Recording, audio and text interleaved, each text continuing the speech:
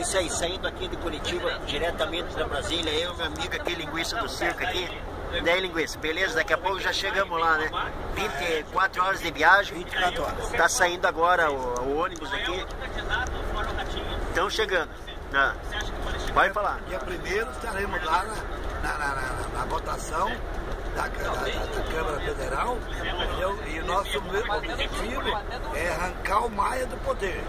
Deixar esse, essa, a esquerda de jeito nenhum. Vamos acabar com a esquerda, vamos pôr só a direita lá para que o Bolsonaro possa fazer um bom trabalho para, para todo o Brasil.